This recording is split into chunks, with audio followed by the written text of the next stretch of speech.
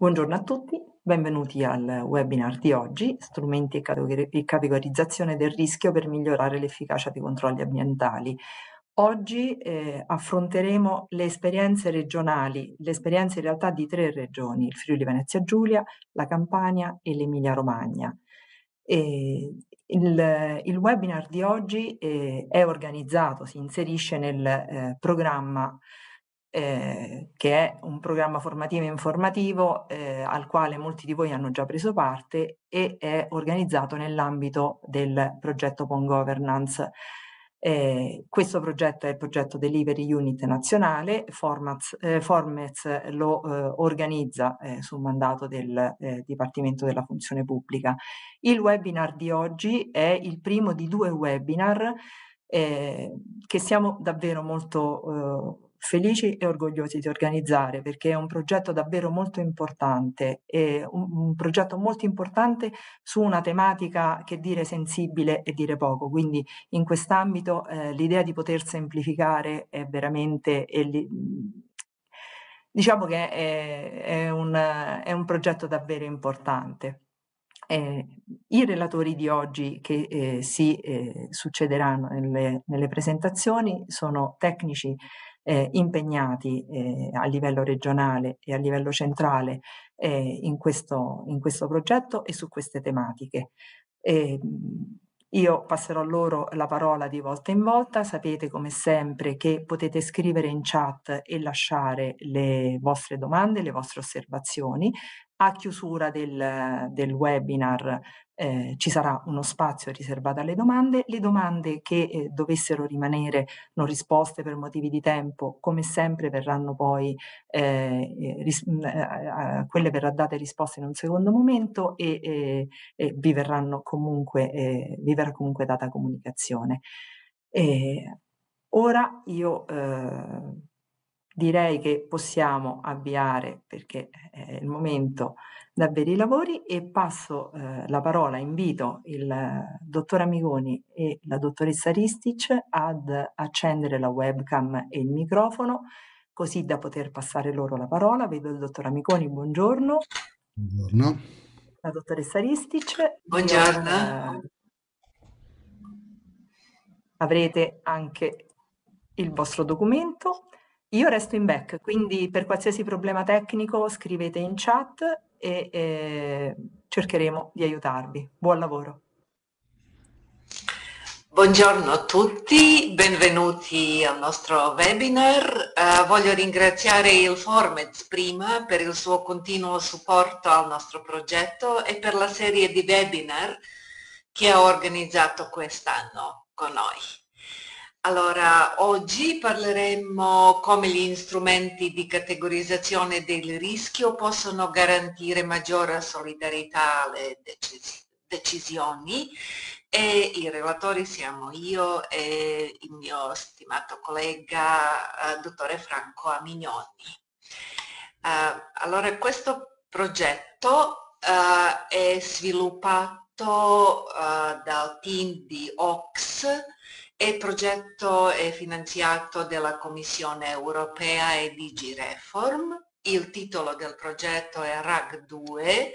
allora si occupa di riforma di amministrazione pubblica. Uh, il nostro team leader è Florentin Blanc, dottore Florentin Blanc, che ha una vasta esperienza nella riforma del, uh, dell'amministrazione e nelle ispezioni in oltre 40 paesi in tutto il mondo.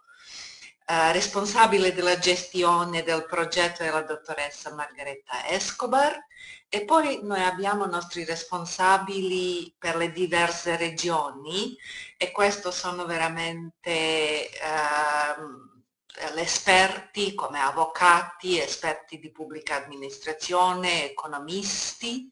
già esperti nel, uh, uh, di riforma dell'amministrazione in Italia come dottoressa Blerta Guzina, Carola Bertonne, Livia Lorenzoni,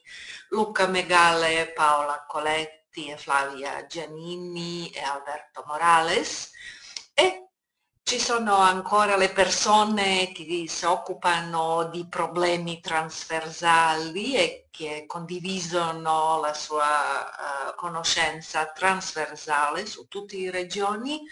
come il nostro esperto per IT and,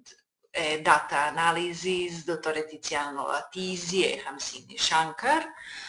Uh, io mi chiamo Gordana Ristic, sono un medico e responsabile per la sicurezza uh, alimentare e in collaborazione con il dottore Franco Amignoni per la sicurezza ambientale attraverso tutte le regioni che partecipano nel nostro progetto. Allora, quali sono gli obiettivi del progetto RAC? Uh, migliorare il sistema di controllo uh, sulla base delle nostre esperienze in molti paesi e su dei principi dell'OX e del toolkit OX come una guida. Noi introduciamo il metodo basato sul rischio nelle ispezioni, analizziamo e miglioriamo coordinamento per avere meno sovrapposizioni, duplicazioni, approcci oppositi, multe che non stimolano la compliance, eccetera. E ancora miglioriamo comunicazione ed informazione attraverso l'uso di strumenti IT per ottenere uh, un ultimo uh, oggettivo e questo ultimo oggettivo è di aumentare l'efficacità e l'efficienza nei processi ispettivi in Italia e di rilanciare la competitività delle imprese, la crescita economica e gli investimenti. Allora, cos'è l'approccio basato sul, sul rischio? Uh, questo approccio aiuta a, a identificare le priorità da eventi più rischiosi che devono essere investigati con urgenza e sul campo ad eventi che possono essere investigati in seguito e magari non magari con un approccio alternativo come per IT o come per telefono o mandare le foto e l'altri, allora eh, non è sempre eh, necessaria la presenza degli ispettori eh, sul campo. Ciò riduce l'onere delle ispezione per le imprese e aiuta le agenzie ispettive a utilizzare meglio le sue risorse. Uh, quali sono i territori coinvolti nel nostro progetto RAC uh, nell'ambito della sicurezza dell'ambiente? Allora noi abbiamo cominciato con Trentino nel 2019 e poi uh, le altre regioni hanno aderito come Emilia Romagna, Lombardia, Campania e Friuli Venezia Giulia. Allora adesso lavoriamo in cinque regioni e uh, lavorando con diverse regioni il progetto benefica degli esperti regionali la loro conoscenze, le loro particolari esperienze e mentre le regioni traggono vantaggio dalla condivisione di nostre esperienze e strumenti basati sul rischio. Allora, um, come ho detto prima, per la sicurezza ambientale stiamo supportando cinque regioni e aiutandole a creare strumenti basati sul rischio e ad analizzare i dati. Allora nel Trentino, Lombardia siamo occupati nell'analisi dei dati, ma in Emilia Romagna, Campania e Friuli, Venezia Giulia con loro uh, ufficiali uh, la, stiamo lavorando nel eh, diversi strumenti basati sul rischio come classificazione delle imprese in base al rischio oppure uh, revisione delle checklist oppure utilizzando, uh, utilizziamo uh, gli strumenti già sviluppati in Italia e già utilizzati in Italia per migliorare comunicazione tra i, i diverse agenzie e poi per ottenere le database uh, dell'ispezione. Allora, passo adesso la parola al dottore Amignoni per illustrare nel, nel dettaglio gli strumenti su cui sta lavorando. Buongiorno a tutti, si è parlato quindi di eh, categorizzazione del rischio e dei territori quali, con i quali si sta lavorando in partnership eh, già da alcuni anni. Eh, qui vedete la cassetta degli attrezzi eh, del progetto RAC2 che stiamo utilizzando eh, nelle varie eh, realtà territoriali. Si va dalla classificazione delle imprese, che è un tema specifico che sta affrontando ad esempio eh, ARPA Emilia Romagna, di cui ci parlerà la dottoressa Marconi. Abbiamo lavorato e stiamo lavorando su checklist su misura eh, per i vari territori che devono essere eh, da un lato standardizzati ma dall'altro eh, essere anche calati nelle realtà dei singoli territori delle singole regioni e affiancati da delle scoreboard, da dei punteggi che possano eh, poi arrivare alla, alla prefigurazione, alla profilazione del rischio. Ehm, eh, c'è in corso una, la facilitazione della creazione di tavoli di progettazione interregionali, eh, ad esempio proprio sulla classificazione delle imprese, e naturalmente eh, le best practice internazionali di Oxy possono facilitare eh, la condivisione di queste eh, soluzioni possibili per la semplificazione. Stiamo lavorando anche su elaborazione di linee guida e su tematiche che in realtà verranno affrontate nella eh, seconda parte di questo mini ciclo di webinar, come ad esempio nel caso dei data science, che sarà affrontato più specificamente dal nostro collega Tiziano Lattisi nel eh, webinar del 2 dicembre. Eh, poi ci sono temi di reingegnerizzazione di processo, di formazione, ad esempio la formazione è legata alla creazione di un simulatore di non conformità eh, per, finalizzato a uniformare l'approccio degli ispettori nel rispetto naturalmente delle loro esperienze specifiche affinché mh, ci sia un po' meno eh, soggettività e un po' più oggettività nell'affrontare le ispezioni. Da questo punto di vista ehm, un nostro collega Yannick Ceschia ne parlerà più diffusamente il 2 dicembre, oltre a manuali eh, naturalmente di buone pratiche. Tutto questo ci porta verso un'evoluzione eh, della gestione integrata del rischio che dovrebbe garantire migliore focalizzazione, una identificazione dei rischi e quindi il follow-up basato sui dati. Tutto questo eh, favorisce, dovrà favorire un minor peso amministrativo sulle imprese e la trasparenza di requisiti e processi decisionali, eh, unitamente a una maggiore conformità conseguente alla qualità ed efficacia delle ispezioni raggiunte. La modellazione del rischio ha varie sfaccettature, si va dall'identificazione, eh, diciamo dalla mh, carta d'identità dell'azienda, alla valutazione dell'esposizione al rischio varie, nei suoi vari aspetti, alla caratterizzazione e alla gestione vera e propria, ma da questo punto di vista eh, un'infografica può essere eh, più eh, esauriente. Voi vedete sopra la matrice del rischio basata sulle caratteristiche strutturali delle imprese, quindi diciamo le caratteristiche intrinseche, la carta d'identità, che è soggetta a una pesatura dei criteri di rischio cosiddetti statici. Sulla sinistra vedete invece le informazioni raccolte durante le ispezioni tramite le checklist tecniche, che sono a loro volta pesate eh, con criteri di rischio dinamici e eh, per completare il quadro la terza dimensione è quella in basso, il profilo di rischio basato sulla storia dell'impresa. E le tre dimensioni eh, forniscono il profilo integrato del rischio e quindi l'output di un punteggio relativo a questo rischio. Gli aspetti eh, che noi abbiamo verificato nel corso dei mesi eh, del progetto eh, ci hanno portato eh, all'esperienza, ad esempio, sul fatto che l'incidenza del punteggio statico delle imprese eh, dovrebbe essere meno rilevante nell'attribuzione delle scoreboard e dei punteggi rispetto agli, al punteggio dinamico, quindi alle ispezioni fattuali ne, nelle facilities nelle imprese. Così come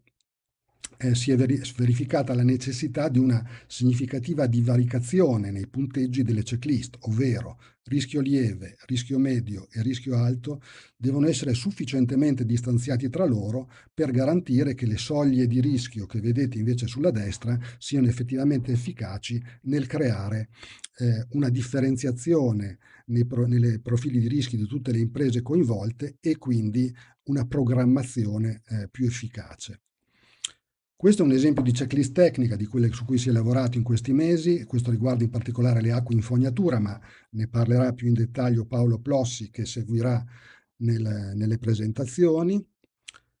Questa invece è la matrice di rischio basata sulle caratteristiche strutturali delle imprese e qui vedete eh, da un lato la divisione in capitoli che risulta molto importante ai fini di una organizzazione più efficiente i tre livelli di rischio che sono utilizzati in questo caso, eh, rischio basso, medio e elevato, così come la pesatura che porta poi a un punteggio finale eh, della matrice. Questo è un esempio eh, molto banale degli esiti finali del modello con, di, con il, la valutazione di rischio complessiva ad, eh, alta, medio, media o bassa, ma è interessante a, a mio avviso eh, fermarmi un attimo, soffermarmi un attimo su quelle che sono le sfide principali relative alle imprese soggette ad AUA. C'è sicuramente, eh, si è riscontrata nel tempo una carenza di dati per eh, una completezza delle analisi, una carenza di standardizzazione anche della classificazione delle imprese, tema sul quale appunto sta lavorando ARPA Emilia Romagna, ci sono delle sfide eh, dal punto di vista del coordinamento perché il flusso informativo e il livello di cooperazione tra agenzie, tra livelli di governo, quindi sia a livello verticale che orizzontale e all'interno dei singoli governi regionali, devono trovare ancora in qualche eh, caso un assetto che garantisca le performance ottimali. Eh, le regioni spesso non dispongono eh, da questo punto di vista di eh, consolidate metodologie di classificazione del rischio e c'è un tema di gestione delle risorse da perfezionare. Un paio di esempi, molte risorse e progettualità sono attualmente dedicate in molti casi alle AIA, che peraltro sono frequentemente ben organizzate, relativamente meno risorse e progettualità, almeno sino ad oggi, sono state invece dedicate alle AUA che presentano invece sovente problemi specifici anche di sistema.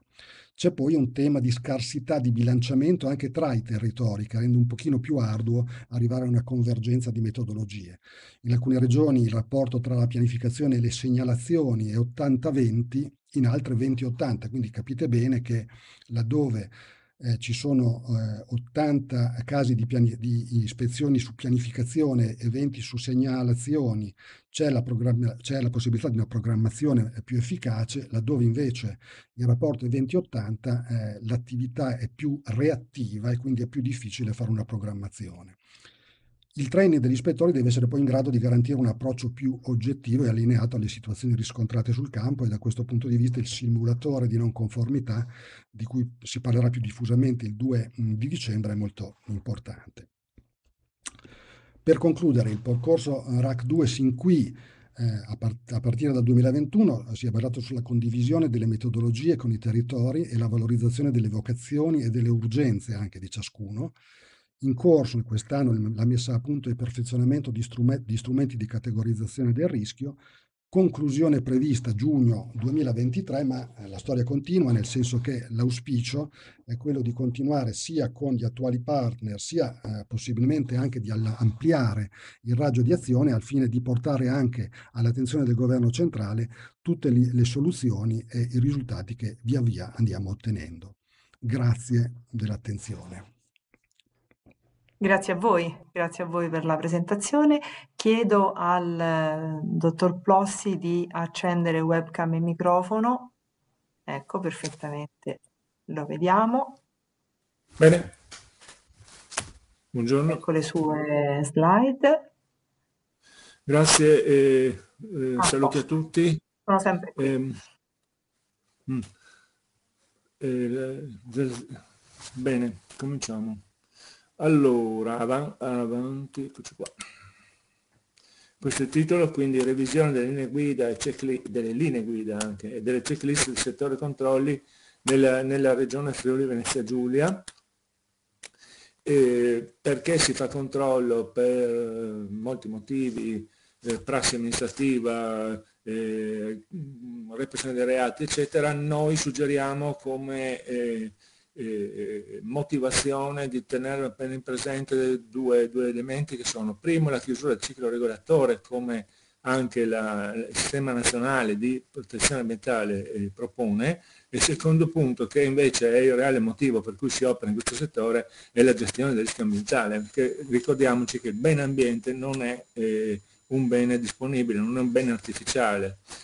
E altra cosa importante, tra le pratiche che vengono messe in atto quando si fa sorveglianza, ci sono tante azioni che vengono normalmente svolte, eh, oltre al discorso dell'azione sul campo, dell'operatività, quindi eh, dell'intervento sul, sul, sull'autorizzato e anche un'intensa attività di continua richiesta di dati da parte degli autorizzati verso la pubblica amministrazione, presente che in realtà sorvegliare cosa significa? Significa ottenere informazioni sulla qualità dell'ambiente e quindi avere una misura eh, del rischio eh, in relazione alla qualità e ricevere segnali dal sistema. E quello che interessa è vedere come il sistema funziona, qual è la pressione che il sistema economico eh, esercita sul bene ambientale. In questo senso è fondamentale che l'attività eh, di sorveglianza sia legata anche alla costruzione di un rapporto efficace e positivo con i soggetti che sono autorizzati con gli stakeholder. Eh, è molto più semplice far capire agli altri come si, si deve comportare correttamente che andare eh, a, poi a, a cercare il, andare in cerca del reato fondamentalmente. Eh, il processo di sorveglianza viene poi eh, ehm, organizzato nel senso che eh, si, è necessaria secondo noi una transizione no? da quella che è la concezione della, della sorveglianza come eh, procedimento amministrativo e quindi sequenza di atti amministrativi, eh, passiamo invece verso una lettura dell'attività di sorveglianza concepita come processo e quindi come una sequenza di azioni che portano da una esigenza alla eh, formulazione di un prodotto che è l'informazione eh, fondamentalmente è, è, quello che io voglio ottenere eh, quando faccio il controllo stesso. In questo senso è importante che si vada a eh, lavorare con eh, alcune tecniche che sono tipiche della business eh, process reengineering e in particolare l'utilizzo di uno strumento che è BPMN che è uno strumento di analisi del processo fondamentalmente, che consente di passare alla sua digitalizzazione, alla reingegnerizzazione del processo e alla sua semplificazione, perché il nostro obiettivo è fondamentalmente questo. Quindi il ciclo regolatore deve essere eh, un concetto che viene sostituito eh, al normale approccio che viene utilizzato nella prassi amministrativa. Normalmente la prassi amministrativa è un'attività che è lineare, cioè qualcuno chiede un permesso, un'attività di svolgere qualcosa, c'è un istruttore d'ufficio, si produce un'autorizzazione, una concessione, dopodiché si va a verificare e si dà la sanzione. Ecco, questa, questo tipo di, di, approccio secondo noi va un momentino superato, eh, noi aderiamo a quello che il sistema nazionale di protezione ambientale propone per il controllo sugli impianti di autorizzazione integrata e quindi è una logica che deriva dal JRC dell'Unione della, della, um, dell Europea stessa e eh, quella che è la produzione tecnica ecco, dell'Unione Europea, Europea, e quindi si vada invece alla chiusura del ciclo regolatore. Il ciclo regolatore si chiude quando c'è la pianificazione del settore, l'azione amministrativa attua la pianificazione del settore, c'è una programmazione dei controlli, c'è un'esecuzione, c'è una correzione dell'azione amministrativa, quindi c'è un, una retroazione, un feedback del risultato su quello che è l'azione stessa, sia in termini di progettazione dell'azione, quindi il piano di settore, che proprio anche come costruzione della prassi amministrativa stessa. Quindi usare i dati di controllo per retroagire sulla, sull'azione amministrativa stessa. Quindi si vanno a costruire delle linee guida. Le linee guida vengono costruite sulla base di quelli che sono gli schemi che eh, il Sistema Nazionale di Protezione Ambientale ha eh, definito per il controllo sugli impianti eh, AIA. E cosa abbiamo fatto noi? Abbiamo, fatto, abbiamo costituito un gruppo di progettazione che è eh, trasversale eh, a tutti i settori eh, della, della, direzione ambiente che si occupano delle attività più varie e quindi stiamo lavorando per adattare quelle che sono le logiche di controllo degli impianti AIA sulla generalità dei casi. Per fare questo si va a cercare tra l'altro anche l'impiego di un software applicativo che eh, sia al tempo stesso una gestione del dato e una gestione del processo. E quindi noi cosa facciamo? Facciamo una programmazione del rischio, eh, programmazione del controllo su base del rischio, questo si, cerchiamo di adattare la logica de, dello strumento che è il Sistema Nazionale di Protezione Ambientale, che è un software che si chiama SSPC, cioè Sistema Supporto della Pianificazione dei Controlli.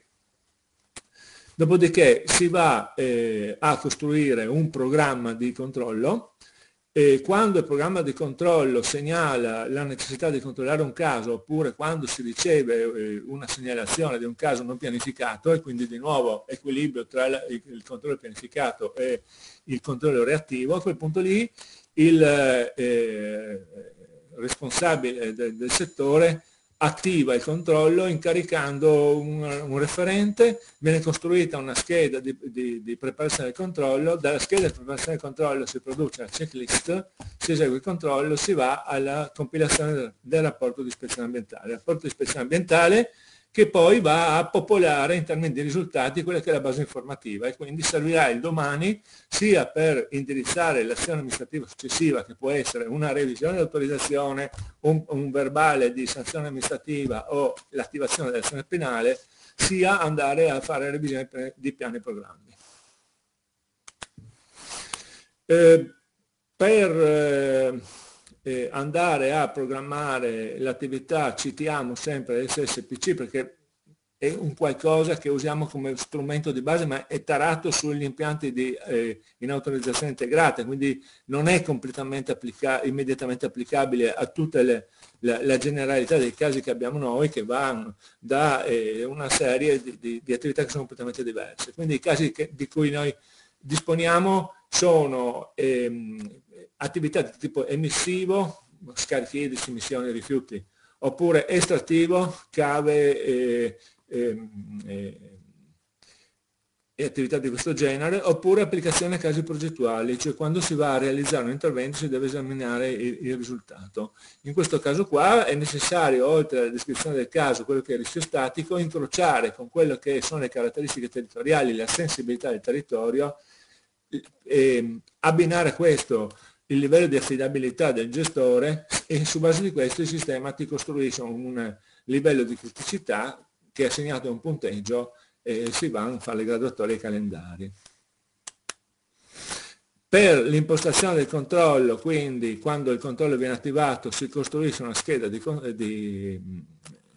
di, di, di, preparazione, la quale deve contenere le informazioni che servono ad impostare il controllo da svolgersi. Questa è una serie di tabelle che sono messe insieme, che vanno da un'anagrafica, una descrizione del, del, del, sito in termini sia qualitativi che quantitativi, ehm, una individuazione del tipo di controllo che viene fatto, le cose che eh, in genere, in termini generali, devono essere controllate, è, eh, è, importante una cosa, e cioè che eh, la gran parte di queste informazioni qua devono essere utilizzabili in forma il più possibile ehm, automatizzata da parte del sistema gestionale. Il data input dell'operatore in fase di preparazione deve essere assolutamente minimo. Perché? Perché la scheda di impostazione porta alla costruzione di checklist, che è quella invece in cui il eh, responsabile del, del, dell'ispezione dovrà andare a eh, inserire diciamo, eh, la, la, sua parte di intelligenza, per così dire. Sulla base poi della, della, della checklist degli esiti di controllo deve essere eh, redatto il, il rapporto di ispezione ambientale. Anche qui utilizziamo in termini generali con adattamento chiaramente lo schema che propone il Sistema Nazionale di Protezione Ambientale per gli impianti AIA, quindi che cosa sarà il rapporto di ispezione ambientale? È una, eh, una sequenza che viene costruita eh, mettendo la parte di descrizione del contesto che si cava dalla scheda di preparazione del controllo, si mette poi eh, la checklist compilata, eh, la valutazione del risultato, con la definizione dell'esito del controllo stesso e la proposta di intervento. Il rapporto di ispezione ambientale è un documento importante perché va agli atti e va a popolare quindi quelli che sono eh, gli esiti dei, controlli stessi in termini di eh, gestione del dato, ma è anche il, il, documento che innesca le azioni successive che, ripeto, possono essere o un intervento di revisione sull'autorizzazione, ehm, oppure una, una, una, sanzione amministrativa, oppure l'innesco dell'attività della, dell'azione penale. Eh, molto rapidamente, eh, anche perché in dieci minuti è estremamente difficile riuscire a descrivere eh, il sistema che, che, che, ci siamo inventati per eh, gestire le liste di controllo, ehm, se ci sono necessità magari poi si possono anche fare nella fase di domande delle, delle piccole dimostrazioni. Ehm, questo sistema qui eh, da noi è articolato nel seguente modo. Si parte dalla eh, scheda di preparazione del controllo. La scheda di preparazione del controllo segnala alcune aree che sono eh, le questioni di natura amministrativa, le questioni di natura strutturale, eh, il funzionamento delle, delle, delle, parti strutturali dell'impianto stesso oppure le caratteristiche di realizzazione del progetto a seconda di che tipo di sistema si va a esaminare il livello di manutenzione che eh, è di efficacia, quindi che queste eh, sezioni di impianto sono in grado di esprimere e eh, infine la parte gestionale eh, che, si, che, riguarda in particolare la tenuta di scritture obbligatorie che possono essere registri di rifiuti, oppure quaderni di impianto eh, oppure registri di manutenzione e cose del genere. Eh, non so quanto bene si riesca a vedere, Ogni riga rappresenta un item, cioè un elemento che deve essere verificato. Si va a costruire, eh, per ognuno di questi item si definisce a priori eh, un punteggio diverso a seconda che sia eh, un completo eh, ottemperanza a, a quelli che sono i criteri predefiniti, una completa non ottemperanza oppure un livello di temperanza intermedio. Quindi ci sono dei punteggi di rischio che sono crescenti, a seconda del, del, del, della rilevanza di quel particolare item lì, siamo andati a definire dei pesi e quindi si definiscono i punteggi pesati. I punteggi pesati possono avere tre valori per ogni item, quando l'ispettore va sul campo assegna uno di questi tre punteggi al singolo item. Dalla somma poi di tutti quanti i eh, punteggi pesati che vengono rilevati sul campo, c'è la costruzione di un punteggio totale, il punteggio totale viene normalizzato a seconda di quello che è il livello minimo di rischio o di massimo rischio. Una volta che il punteggio è normalizzato sono in grado di ottenere uno score, un voto per quello specifico sopralluogo lì su quello specifico impianto lì e di conseguenza posso costruire una lista di criticità di gradatoria per gli impianti stessi. E a seconda del tipo di impianto, della sua complessità, possiamo avere un numero di item estremamente variabili. Per esempio nel caso dei eh, depuratori di acquarelfe urbane di complessità notevole, quindi impianti completi, noi abbiamo in regione eh, impianti di, di, questo tipo che ehm, eh, possono avere anche potenzialità dell'ordine di 150-180 mila abitanti equivalenti e viceversa abbiamo anche impiantini che, che hanno qualche centinaio di, di, di, abitanti equivalenti di potenzialità, quindi è estremamente variabile quella che è la, la scelta degli item possibili,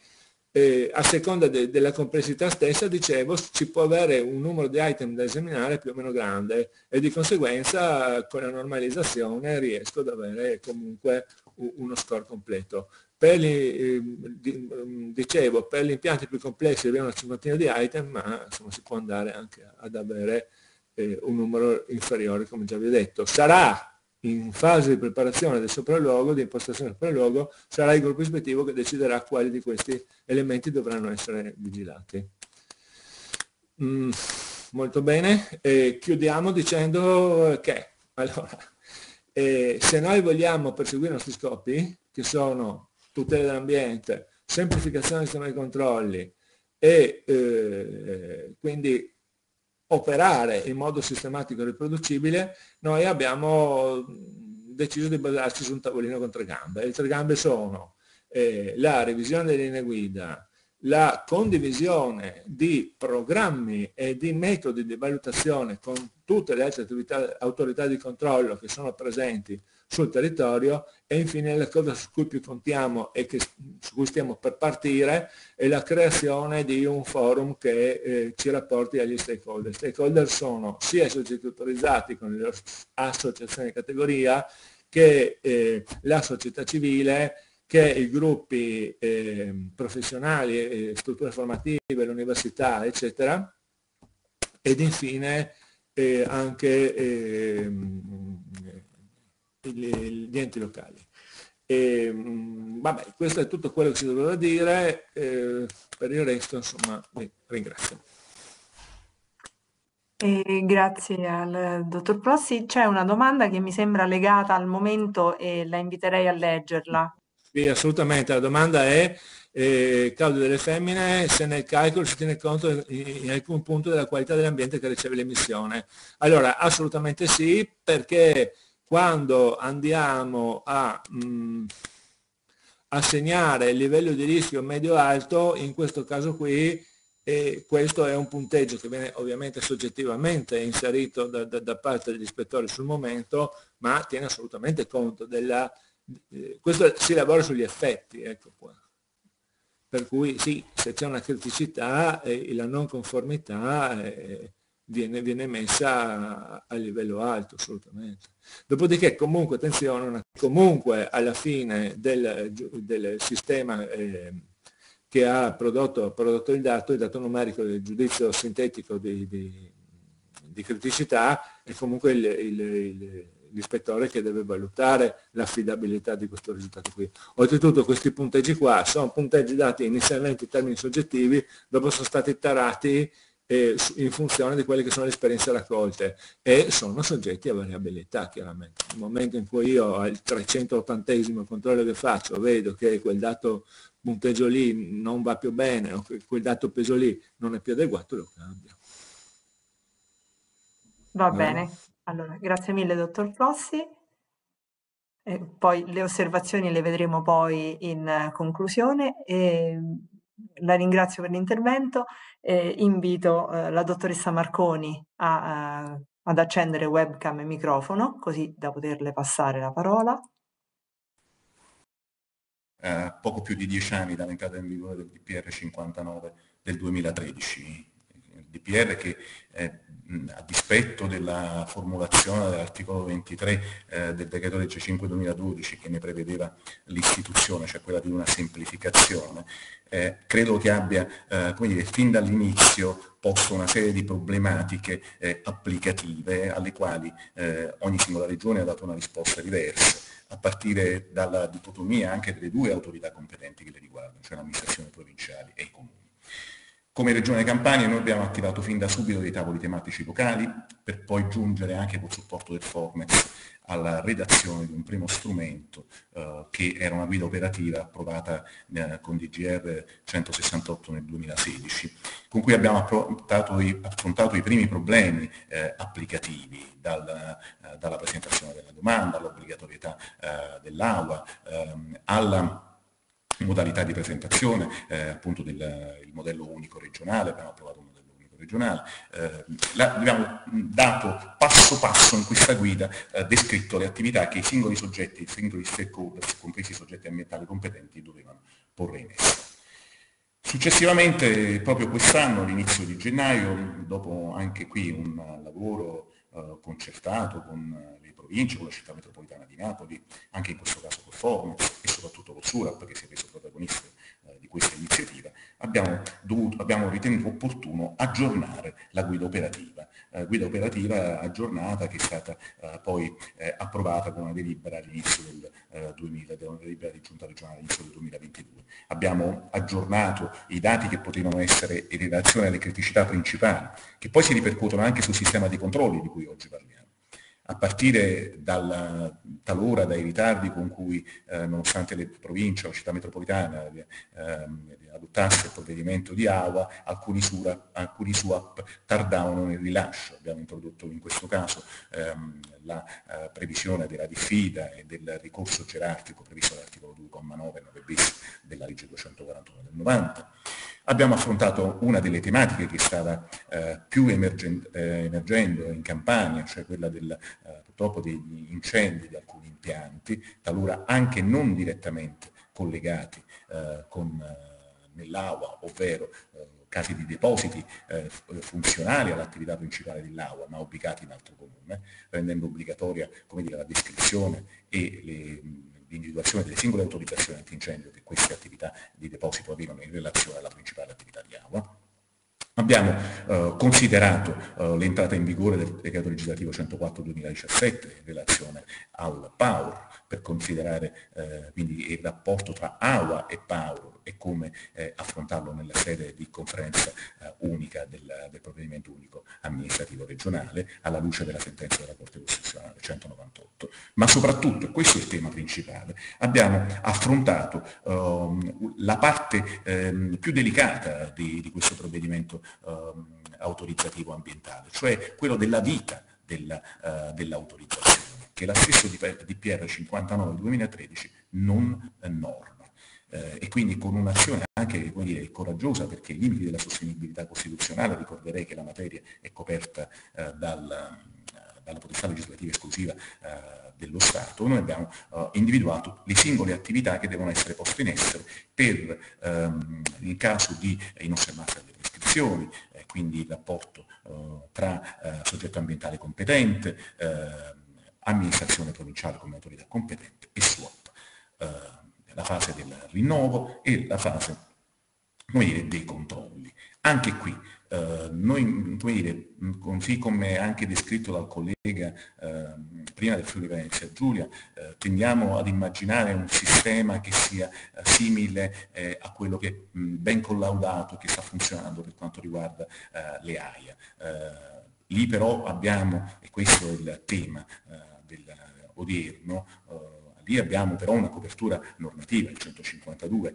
prevede espressamente un piano um, del, dei controlli delle installazioni AIA che noi in Regione Campania abbiamo um, approvato, abbiamo un piano uh, annuale sulla, redatto sulla base eh, dell'elaborazione anche per noi di un software che tiene conto uh, di alcuni parametri importanti, eh, la, le condizioni ambientali di partenza, eh, il, le tipologie eh, di attività ehm, che eh, vengono ricomprese, eh, eventuali precedenti controlli che abbiano dato eh, esito di criticità. Dunque un modello già collaudato. Qui il tema però è più complesso perché eh, è, eh, diciamo, mentre per quanto riguardava le AIA, qui in Regione Campania noi siamo autorità competente, eh, il problema che si pone nel caso della Campania è che non avendo, eh, previsto una diversa eh, riparto delle competenze abbiamo, eh, rimangono in piedi le competenze dell'amministrazione provinciale dei, dei SUAP mi dovrebbe immaginare dei piani con valenza provinciale. Da questo punto di vista sarebbe auspicabile un intervento legislatore eh, nazionale che facesse un po' più, ehm, diciamo, un po' più di chiarezza su questo aspetto. Lo stesso aspetto che eh, abbiamo dire, disciplinato nella nuova guida regionale è quello del sistema sanzionatorio, perché i soggetti ambientali competenti sono diversi e eh, quindi diverso anche il rapporto uh, e le attività che ne conseguono. Si immagini ad esempio sulle emissioni in atmosfera, l'autorità competente, il soggetto ambientale competente, la Regione Campania, eh, ci arriva una comunicazione di non eh, conformità eh, su un punto di emissione oppure eh, violazione delle prescrizioni in questo caso il soggetto ambientale competente, noi abbiamo disciplinato che fa, provvede a fare la diffida, la comunica all'amministrazione provinciale e al suo competente. Eh, laddove invece vi siano pericoli per la salute pubblica e per l'ambiente, quindi eh, l'attività tipicamente eh, del potere di ordinanza si concretizza anche con la sospensione o addirittura con eh, la, la, revoca del provvedimento autorizzativo, in questo caso eh, dire, la, il soggetto ambientale competente lo comunica all'amministrazione provinciale che adotta il provvedimento di eh, di sospensione o di deroga lo comunica al SUAP affinché poi adotti il provvedimento finale. Quindi come si vede un procedimento piuttosto eh, elaborato e corposo. A questo si aggiunge e consegue anche eh, l'altro aspetto, cioè quello più tipicamente eh, sanzionatorio, perché eh, accanto al potere eh, di ordinanza vi è anche eh, l'attività sanzionatoria la dottrina, la giurisprudenza che si è formata in questi anni, perché lo ripeto, il 59 non lo prevede, eh, e che si applica alla normativa di settore. Quindi i soggetti ambientali competenti conservano questa competenza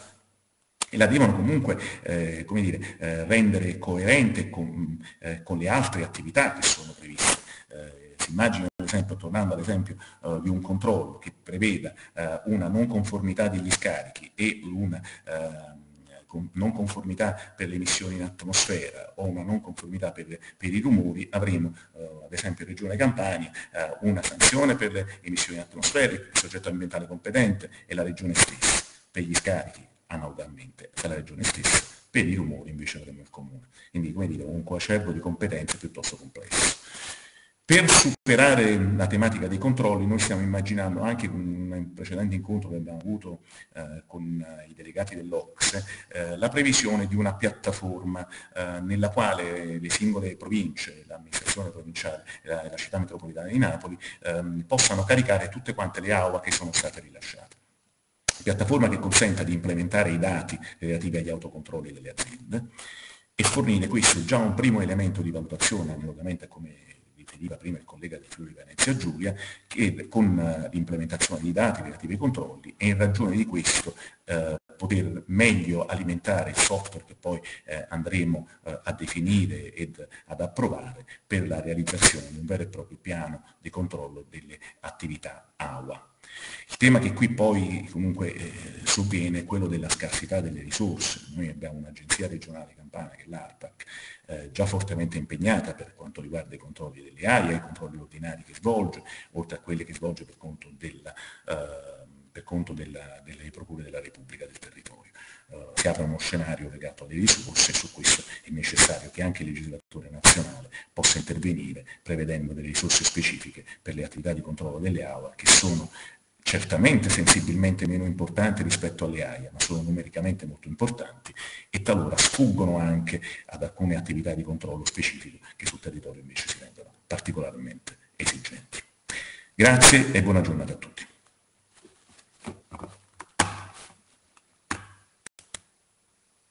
Ringraziamo il dottor Barretta per la sua presentazione. Invito eh, la dottoressa Marconi a, a provare a ricollegarsi così Vediamo se eh, abbiamo maggior fortuna di prima. La vediamo e la sentiamo. Lei ci vede e ci sente? Ok, vi vedo vi sento e vedo anche le slide. Ci riproviamo, speriamo Meraviglia. sia la volta buona. Perfetto, allora io resto sempre in back. Buon lavoro. Buongiorno. Allora, la collaborazione di ARP Emilia Romagna con, uh, con Ox è nata appunto dalla, um, dal fatto che l'agenzia di per sé ha, aveva già in corso un progetto per definire tutta l'anagrafica delle attività che operano in regime di AUA, abbiamo i dati soltanto dal 2016 in avanti, eh, un catasto delle pressioni ambientali autorizzate e quindi la necessità di definire un modello di valutazione del rischio che potesse essere utile eh, nel supportare la programmazione delle ispezioni, ehm, delle, delle, periodicità di ispezioni delle aziende in AUA. Ehm, le criticità che sono state riscontrate in questo progetto sono, è appunto l'assenza di una categorizzazione definita in cui collocare le varie attività AUA il, la grande variabilità delle eh, autorizzazioni delle aziende che operano in regime di AUA e l'assenza di un modello eh, di valutazione del rischio che potesse essere diverso da quello utilizzato per eh, le AIA. Quindi eh, siamo partiti però comunque da, un, da, alcuni punti base che sono l'applicazione appunto del modello SSPC alle installazioni AIA, la conoscenza del territorio e delle aziende, da un'analisi ragionata dei codici ATECO e da una normativa regionale e nazionale che ehm, categorizzava già un pochino le eh, attività ehm, per quanto riguarda l'impatto delle emissioni in atmosfera come eh, comunicazioni eh, di carattere generale.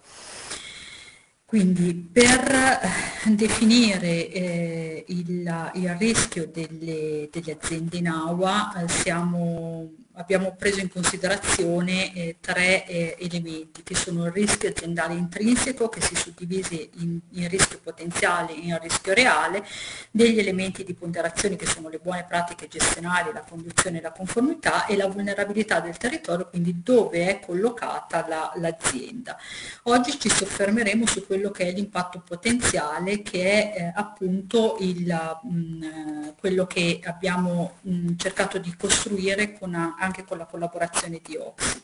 di Oxe. L'impatto potenziale è mm, un po' basato sempre sulla, uh, sul modello delle, delle AIA, è um, una, un, un impatto da um, assegnare alle aziende in base um, all'attività che l'azienda svolge, quindi in base a quello che potenzialmente potrebbe essere il suo impatto. Per fare questo siamo partiti da... Mm, il primo problema era quello di cercare di creare appunto una, una categorizzazione delle attività per poter poi eh, ragionare su di esse. Quindi per fare questo siamo partiti dall'elaborazione delle, eh, delle, attività che erano ricomprese nell'articolo 272,2 della parte quinta del decreto legislativo 152 che sono quelle attività che sono eh, ritenute a, a, a, ridotto inquinamento atmosferico. Quindi da questa attività eh, da, da, abbiamo aggiunto a questa attività quelle attività eh, che rientravano nelle AIA che non erano presenti in, uh, in questo elenco e ehm, abbiamo cercato di attribuire a, queste, eh, a questo elenco di attività una, un codice affine alle categorie PPC. Questo perché per le categorie PPC avevamo già un, eh, un indice potenziale e, e, quindi abbiamo cercato di eh, assegnare questo codice affine per poter per poter avere una base di partenza per assegnare questi codici di indice potenziale. Ehm, L'attribuzione del punteggio è ancora in corso di definizione, è stata fatta una bozza che dovrà essere poi affinata anche con l'applicazione ad un gruppo ristretto di attività per vedere appunto come, eh, come, funziona. Questo è un esempio di associazioni, quindi noi abbiamo ehm, fatto l'elenco di queste attività e abbiamo associato a queste attività un codice ehm, AIA affine per poter poi arrivare ad associare un punteggio attribuito all'SSPC. Il lavoro più importante dal nostro punto di vista è stata la eh, cercare di eh, associare ad ogni attività un codice ateco. Questo perché? Perché noi eh, nella, quando poi dovremo andare ad elaborare tutti i dati delle AUA dobbiamo partire da una mh, da, da, da, un dato che abbiamo disponibile per tutte le aziende. E l'unico dato che avevamo disponibile per tutte le aziende che ci sembrava potesse essere utile alla, allo scopo era appunto il codice eh, Istat. Quindi ehm, attribuendo il, la categoria affine, il punteggio attribuito alla categoria affine dall'SSPC, l'attività e il codice atteco, eh, siamo riusciti ad arrivare ad una... Ehm, a, a, creare una, una, griglia di impatto potenziale, impatto potenziale che, a cui abbiamo attribuito un punteggio che va da 1 a 5 in base appunto alle eh, potenziali criticità delle, delle aziende.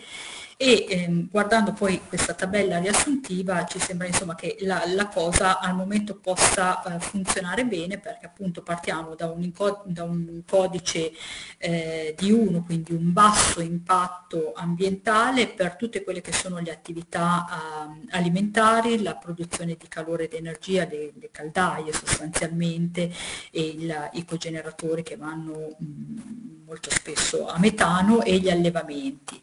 Una, un codice un pochino più alto, quindi una, uh, un indice, um, definiamolo medio, per eh, queste attività che sono la fabbricazione di mobili, la produzione di carta e cartone, i materiali di, da costruzione terracotta, tipo le ceramiche eh, e delle lavorazioni meccaniche in generale, per arrivare poi ad un indice di impatto eh, medio-alto per le attività tessile, le, la produzione di prodotti farmaceutici, la produzione di cemento, calce e gesso e lo smaltimento di carcasse animali che sono comunque delle attività eh, che hanno una, un, un, impatto, che potrebbero avere un, un impatto eh, importante sul, sul territorio ehm, per arrivare poi ad un codice 4 al quale sono state associate le attività di fabbricazione di prodotti chimici, articoli in gomme e materie plastiche, la fusione dei metalli, le verniciature, i trattamenti di rifiuto e le pulizie a secco delle, delle lavanderie e eh, un'ultima attività eh, che risulterebbe essere dal punto di vista teorico quella più impattante che è la produzione di esplosivi e la produzione di ghise d'acciaio. Questo, questo, lavoro ci permette appunto di ehm, attribuire un primo codice, non è un lavoro, ehm, cioè è un lavoro che va affinato perché molto spesso eh, il codice Ateco ehm, sono, ci sono anche molti codici Ateche non, non, non ben specificati, quindi eh, una buona parte delle una piccola parte delle attività andranno comunque valutate eh, singolarmente, però noi abbiamo visto che eh, con, con, questo modello ah, un 80% delle attività che abbiamo sul nostro database siamo riusciti ad applicare, eh, una, ad applicare il codice, quindi tutto sommato ehm, il, il, sistema mh, risulterebbe eh, funzionante, poi dopo vedremo se anche in altre realtà è possibile fare eh, questa cosa. Il, il, lavoro, come dicevo, è all'inizio, nel senso che eh, abbiamo fatto questo, questo, primo elenco di attività che dovrà mh, essere, eh, che sicuramente andrà in, implementato, eh, i codici eh, di pericolosità, cioè tra virgolette di impatto ambientale dovranno essere valutati per vedere se realmente sono dei codici ehm, che possono avere un, dei codici verosimili o se hanno bisogno di essere, di essere ritoccati e eh, tutto questo lavoro mh, anche per, per, tutto il resto del modello di calcolo del, dell'indice di, di, impatto delle aziende in AUA eh, proseguirà anche con la collaborazione del Servizio Valutazione Ambientale e Promozione e Sviluppo Sostenibile della Regione Emilia-Romagna. Grazie mille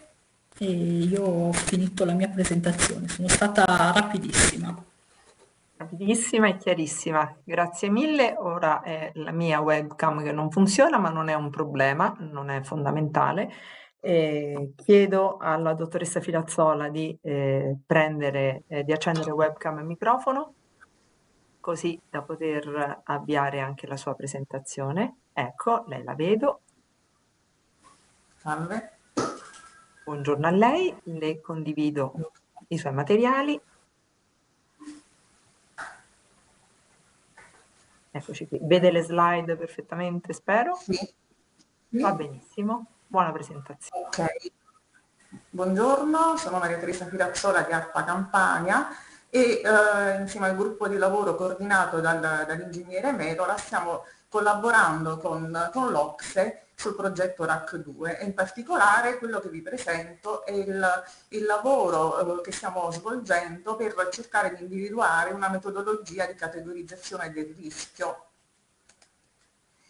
L'obiettivo eh, che ci siamo posti appunto è stato quello di mettere a confronto e sviluppare delle metodiche eh, su un'area un ristretta, eh, infatti abbiamo, cer abbiamo cercato di sviluppare un progetto pilota eh, nell'ambito di, di un, comune, che è il comune di Marcianise, andando a verificare quale poteva essere innanzitutto eh, eh, il numero di eh, aziende eh, che, eh, del comune di Marcianise con autorizzazione, un'autorizzazione unica ambientale e poi andare ad applicare le diverse metodologie per la valutazione del rischio. Eh, per l'analisi del rischio infatti sono state verificate una prima metodologia eh, che poi illustrerò eh, definita semplificata e poi la metodologia correntemente applicata per le aziende AIA di cui sono, eh, hanno parlato eh, i eh, precedenti relatori che è l'SSPC. Ed infine un terzo step del lavoro ehm, è stato volto a verificare l'applicabilità nella nostra realtà delle checklist controlli che stanno sviluppando Friuli Venezia Giulia. Per quanto riguarda l'attività di censimento, eh, i eh, database, le informazioni presenti nei database dell'Agenzia sono state integrate eh, con le informazioni pubblicate nell'albo pretorio del Comune di Marcianise e, e, della provincia di Caserta e questo ha consentito di eh, andare a individuare un numero di aziende in possesso di autorizzazione AVA pari a 121 eh, con titoli autorizzativi, eh, uno o più titoli autorizzativi tra eh, autorizzazione agli scarichi, autorizzazione emissioni in atmosfera, comunicazione in materia di rifiuti o comunicazione di impatto acustico. Eh, cosa è stato fatto? Eh, per queste aziende, ispirandoci al lavoro portato avanti dall'Emilia Romagna, sono state individuate le categorie ATECO e sono state selezionate le macro categorie ATECO di ciascun impianto e prendendo come spunto le, la categorizzazione assegnata dall'Acqua Emilia Romagna, a tali categorie ATECO sono stati assegnati dei valori di rischio variabili da 0 a 5.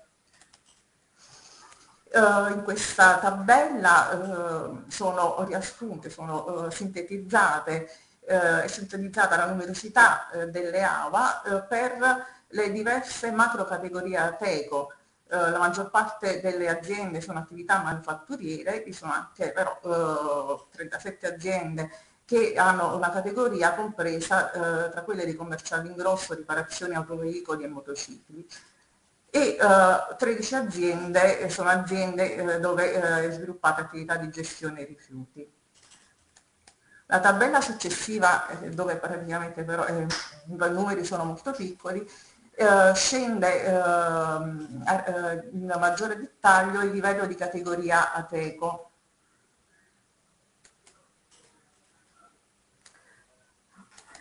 Ora, eh, utilizzando come dicevo il lavoro della Emilia Romagna, ai codici ATECO sono stati attribuiti dei punteggi eh, che vanno da un punteggio 1 eh, legato ad un eh, rischio più basso e a un punteggio 5 eh, che è il rischio più elevato. Quindi eh, per eh, perfezionare il punteggio da assegnare alla singola azienda è stato costruito un algoritmo che associa al valore punteggio ateco anche un valore legato al singolo titolo autorizzativo presente andando a attribuire un valore 2 all'autorizzazione allo scarico, alle emissioni in atmosfera o un valore 1 alla comunicazione di rifiuti e comunicazione di impatto acustico, andando così ad uh, arrivare ad un uh, range di punteggi che variano da un minimo di 3 a un massimo di 1. Questa tabella uh, rappresenta quanto finora detto, sulla sinistra ci sono eh, sono riportate le codifiche ATECO, nella seconda colonna i punteggi, sono quindi eh, riportate eh, l'assenza o presenza del singolo titolo autorizzativo e eh, l'ultima colonna invece riporta il punteggio finale che deriva dall'applicazione dell'algoritmo. Eh, l'applicazione sul uh, nostro sistema di aziende è uh, stata riportata in questa tabella dove appunto viene, uh, le aziende sono riportate, sono identificate da un codice interno, viene riportata la singola macro categoria, il codice ATECO specifico di ciascuna azienda, il codice ATECO di secondo livello il punteggio Ateco eh, assegnato, eh, il punteggio IPP simile assegnato dall'ARPA Emilia Romagna e quindi le, eh, la presenza o assenza singole, dei singoli titoli autorizzativi con il punteggio finale. Questo è un, eh, un primo approccio. Un secondo approccio eh, che eh, è stato eh, portato avanti è, è, stato quello di eh, applicare l'analisi di rischio SSPC a questo pool di aziende attraverso l'elaborazione degli indicatori che fossero il più possibile simili a quelli utilizzati in campo AIA e così eh, per quanto riguarda l'indicatore di impatto potenziale che mh, in AIA è ben codificato, è stato sostituito da questo uh, indicatore uh, legato alla singola attività ATECO. Per quanto riguarda l'impatto reale, uh, sono stati utilizzati indicatori corrispondenti a presenza o assenza di titolo autorizzativo, mentre per quanto riguarda eh, gli indicatori legati alla realtà territoriale è stato possibile riproporre gli stessi indicatori dell'AIA, che sono informazioni che sono presenti in agenzia. E eh, lo sviluppo di questi indicatori ha eh, portato all'applicazione eh, di, di, un template, in effetti questa è la, è la il format, il template che poi viene fatto, viene processato nel uh, software che uh, genera poi e attribuisce il singolo rischio, uh, al singolo valore di rischio alle aziende. Oh, ho fatto un errore. Ok. Uh, ok, e uh, i valori che ne sono derivati uh, variano da un minimo di 2,24 a un massimo di 6,16 che corrisponde al rischio più elevato. Questo è l'output del software in cui vengono rappresentati e portati sul grafico i valori di rischio attribuiti alle singole aziende eh, ho tentato di confrontare i, i, gli indici, i valori eh, generati e attribuiti eh, dalle due metodologie, dal metodo semplificato e l'SSPC e eh, i valori sono abbastanza comparabili, eh, infatti in giallo sono evidenziati i valori, eh, le aziende con rischio più basso e in con rosa le aziende invece cui i due metodi hanno attribuito eh, il valore più elevato di rischio. Ed infine eh, il terzo step del, del, lavoro che stiamo sviluppando è stato quello di verificare, grazie questo al contributo del collega Gianluca Russo, di verificare l'applicabilità delle checklist eh, sviluppate da Friuli Venezia Giulia alle nostre realtà. Il primo confronto, eh, il primo lavoro che è stato fatto è stato di andare a verificare l'utilizzabilità di tutte le voci presenti in checklist e eh, in effetti non, eh, durante un controllo non tutte le voci eh, previste dalla checklist sono effettivamente utilizzate nelle nostre realtà. Per cui ai fini del, del calcolo si è tenuto conto eh, delle voci evidenziate in verde, quindi effettivamente utilizzate. Quello che è stato fatto allora è stato di eh, verificare eh, l'applicazione delle checklist in sei eh, visite ispettive. Qui sono eh, state praticamente riportate le informazioni delle aziende ispezionate, sono sei aziende di cui cinque sono aziende eh, che eh, presentano autorizzazione AWA, un'azienda invece eh, controllata a seguito di segnalazione della polizia giudiziaria era priva di autorizzazione AWA. È stata eh, applicata, sono state applicate le checklist e eh, in quest'ultima uh, slide in, uh, a, diciamo, a confronto parallelo uh, sono stati anche calcolati i punteggi per le stesse aziende derivanti dall'applicazione delle, delle, altre due metodologie. E da quello che è il risultato è che l'azienda maggiormente non conforme, la, la seconda azienda eh, qui l'applicazione della checklist più l'inizia Giulia dà un punteggio 6,50, se andata a pesare con le altre metodologie dava un punteggio invece più basso. Viceversa l'azienda più virtuosa, la terza azienda eh, con un punteggio eh, meno 4,50 andava invece a essere pesata negativamente eh, con le altre due metodologie. Ecco, questi sono i risultati eh, del lavoro di confronto che è stato fatto ad oggi. Sicuramente eh, occorre approfondire il lavoro sulle checklist, verificare l'adattabilità a, a, un numero maggiore di, di, di realtà, di aziende, aumentando il numero delle verifiche, ma anche, è molto importante, andare a sviluppare il lavoro di pesatura dell'indice potenziale da attribuire al, alle categorie ATECO, magari estendendo eh, questo lavoro anche ad un panel di esperti. Ringrazio per l'attenzione, finito. Eh, la ringraziamo per la presentazione e invito la eh, dottoressa Feledig a eh, collegare eh, webcam e microfono così da poter, eccola qui, la vedo, buongiorno dottoressa. Buongiorno. Anche il suo documento. Grazie. Eccoci. Le lascio la parola. Grazie. Eh, intanto che si carica il documento perché evidentemente c'è qualche tempo, eccolo qui è arrivato un tempo di retention, io faccio i miei più sinceri complimenti alle relatrici e ai relatori per il successo che sta avendo questo progetto, che è un progetto ancora in progress,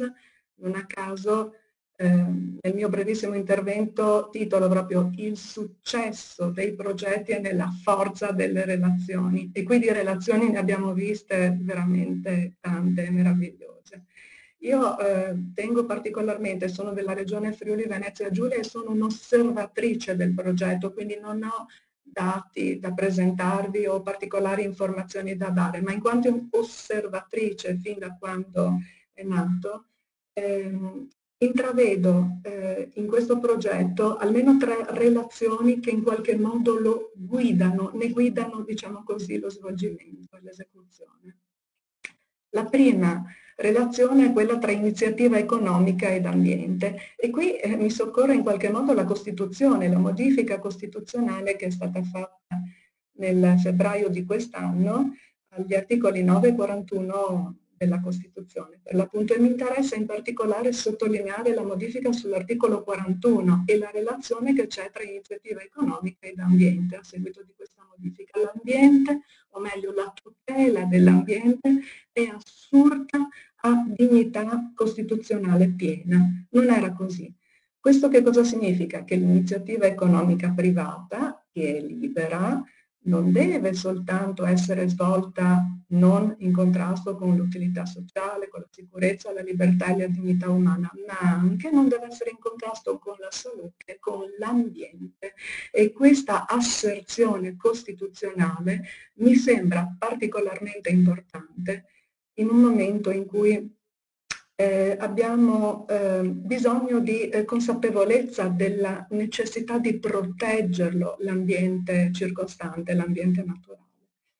Eh, oggi siamo più consapevoli dei disastri ambientali che eh, sono generati dalle attività antropiche degli ultimi 120 anni e quindi in questo scenario di consapevolezza la potestà autorizzatoria preventiva ma anche il controllo ex post diventano veramente fondamentali considerato che il collasso climatico non ha confini geografici, quindi non possiamo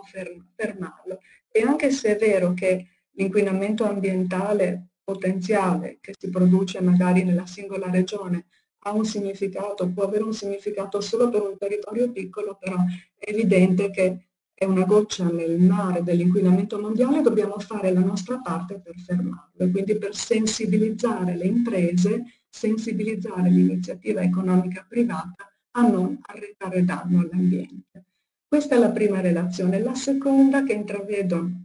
nel progetto è quella tra le istituzioni che ci hanno ben rappresentato il collegamento tra di loro su questo progetto comune. E qui prendo a prestito questa frase di Consuelo Casula, che è una psicologa, psicoterapeuta, filosofa, la quale in un recente convegno ci ha detto il successo per me è voce del verbo succedere, quello che io faccio succedere. E qui queste persone hanno raccontato mh, che stanno facendo succedere qualcosa. Che cosa? Stanno mettendo in condivisione più soluzioni per la categorizzazione del rischio, si stanno confrontando, hanno creato sotto l'alta sorveglianza di Ox questo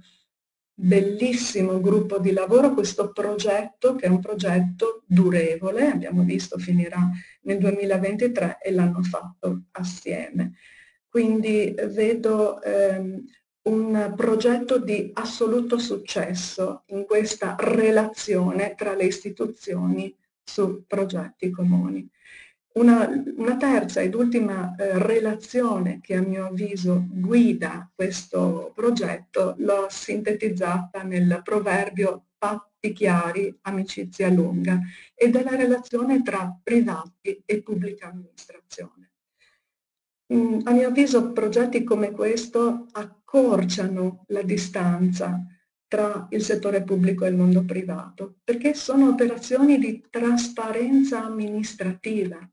le colleghe e i colleghi ci hanno dimostrato che stanno cercando di fare chiarezza nelle regole cui la funzione di controllo deve attenersi, ma anche fare chiarezza, quindi non solo sul comportamento, diciamo così, e sulla metodologia che in fase ispettiva si deve tenere, ma anche chiarezza sul ruolo che l'imprenditore nel fare attività economica deve avere a protezione dell'ambiente. Quindi la consapevolezza per l'impresa di essere, ehm, mm, che sia necessario, diciamo così, operare sì facendo business, ma comunque sempre a protezione del bene costituzionalmente ora tutelato che è l'ambiente naturale. Trovando però nel settore pubblico, ed ecco perché patti chiari, amicizia lunga, un atteggiamento di collaborazione e anche direi un atteggiamento ispirato dall'accompagnamento piuttosto che eh, dal, dal solo profilo sanzionatorio, il quale difficilmente può costituire un vero insegnamento e può costituire crescita culturale per l'impresa, per l'impresa che fa business ma che deve appunto entrare nell'ottica di tutela di questo bene importante che è l'ambiente naturale. Eh, mi fermo qui, io eh, devo, eh, ringrazio tutte le istituzioni collaboranti, eh, continuiamo a realizzare, a realizzare progetti fondati sulle buone relazioni tra pubbliche amministrazioni e attendiamo anche io personalmente con ansia di eh, seguire il webinar del 2 dicembre per completare la carrellata di esperienze sulle buone pratiche condivise. Grazie. Grazie a lei, mi pare che eh, l'intervento della dottoressa Fereti chiuda magnificamente questa, questa giornata. Eh, c'è una domanda che era stata posta per la dottoressa Filazzola che eh, invito a questo punto a ricollegarsi. Ecco. Eccola. Allora. La trova nel box domande, c'è una domanda che le era stata posta. Sì, l'ho letta, se eh, per le aziende cui è possibile attribuire un duplice codice ATECO, come si fa a valutare il punteggio? Si può utilizzare la soluzione del, che, usa, che, applica l'SSPC per eh, i, codici, i, PPC, eh, i codici delle AIA, dove lì dove ci sono più codici eh, il punteggio viene aumentato di un valore pari 0,5, quindi si può ipotizzare lì dove ci sono più codici ATECO di aumentare eh, di un valore eh, che deve essere predefinito il punteggio finale. Grazie mille e chiedo anche agli altri relatori se vogliono aggiungere qualcosa e chiedo ai partecipanti se in questi pochi minuti rimanenti eh, vogliono, eh, hanno ancora qualche minuto appunto per eh, porre domande ai relatori. Vedo il dottor Amigoni No, io solo per, invita- per ringraziare tutti, per ringraziare Formez e tutti i partecipanti numerosi e per invitare eh, al secondo e conclusivo appuntamento del 2 di dicembre dove le- gli aspetti tecnologici eh, di data science e anche alcune cose veramente innovative verranno presentate sui temi eh, di oggi. Grazie mille, grazie. E allora io eh, Sottolineo l'appuntamento del 2 dicembre che vi è stato dato dal dottor Amigoni, ringrazio i numerosi partecipanti eh, Posso che hanno dire una cosa io? Vedo Posso dire una cosa io? Ah, certo. Scusate, eh, prima che ci lasciamo, eh, sono state presentate molte cose qui, molte soluzioni, molte proposte che sono ancora in corso di sviluppo, no? in genere,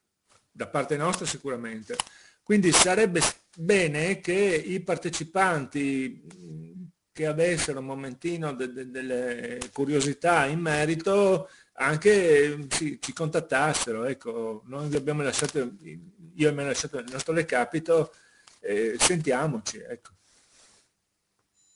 Grazie. Oltre al, grazie a lei. Oltre ai recapiti che sì, trovate eh, sulle, sulle slide, sul, vi ricordo che le slide verranno poi pubblicate insieme alla registrazione, ma oltre ai riferimenti che trovate sulle slide, eh, vi ricordo che avete sempre eh, l'indirizzo eh, di posta di delivery, quindi la posta del progetto delivery unit chiocciolaformez.it e se avete poi eh, anche sollecitazioni da eh, girare ai relatori e poi provvederemo noi ad inoltrarle. Io vi auguro buona giornata, eh, vi ho già ricordato che avrete registrazione slide e eh, per le presenze vi verranno attestate nei prossimi giorni, mh, mm, nel, nei primi giorni della prossima settimana e mh, mm, contestualmente riceverete una eh, comunicazione dal sistema che vi inviterà a compilare il questionario di gradimento per poter così eh, scaricare l'attestato eh, di iscrizione al webinar. Ringrazio tutti e auguro a tutti un buon proseguimento di giornata.